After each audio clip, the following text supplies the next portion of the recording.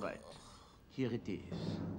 What is the average running speed of a full-grown male African ostrich? Pass. Pass to me. I know it. You cannot pass! Shut up! What do I have to do to shut you up? Do I have to hose you down again? Don't hose me. Maybe later. Dude, we're dead. Hey, not so fast.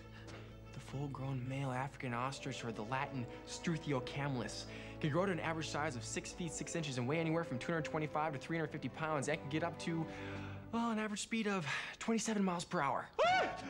This is absolutely correct! Animal Planet. Wow. I said brown.